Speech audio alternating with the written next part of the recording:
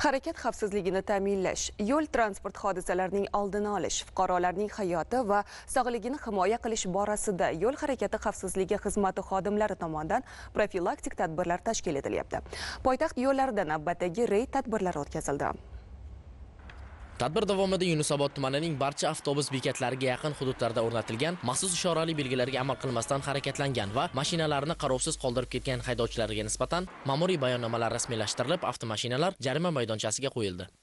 Amir Temur ko'chasi Universal savdo majmuasi qarshisida 01 b bo'lgan avtoulov haydovchisi transport vositasini qarovsiz shahar jamoat transporti uchun harakatlanadigan maxsus yo'l belgi ta'siri ostida qo'yib ketganlar 320 yo'l belgisi ta'siri ostida ushbu haydovchini topish choralarini ko'rdik va haydovchiga o'zimiz tanishtirib hujjatlarini so'raganimizda haydovchi transport vositasini tegishli hujjatlarsiz ya'ni haydovchilik guvohnomasisiz haydaganligi ma'lum bo'ldi haydovchiga ma'muriy javobgarlik to'g'risidagi kodeksga tegishli asoslangan holda ma'muriy bayonnoma rasmiylashtirib avtoulovni vaqtincha jarima maydoniga qo'ydik Shuningdek, tumanning Universam dehqon bozori ro'parasidagi avtobus bekatining oldiga haydovchilar o'zboshimchalik bilan avtomobillarni qoldirib ketgani guvohi bo'ldik. Ularga ham qonuniy tartibda choralar ko'rildi.